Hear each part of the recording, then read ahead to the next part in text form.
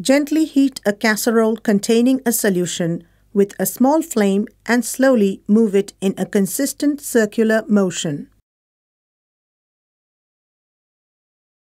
When the liquid begins to boil, move the casserole away from the flame.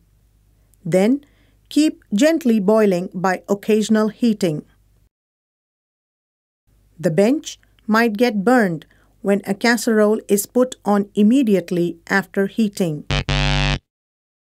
A hot casserole might crack when put on a wet surface.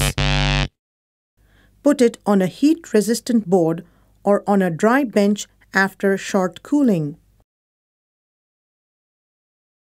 When a beaker is heated using a tripod and wire gauze with ceramic, light and adjust the gas burner first. Then, place the burner below the tripod and put the beaker on the wire gauze.